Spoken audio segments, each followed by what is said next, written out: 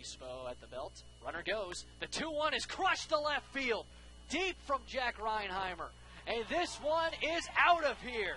Jack Reinheimer with a huge blast over the tall wall in left field. And the Jackson Generals now lead 7 to 3 over the Biloxi Shuckers.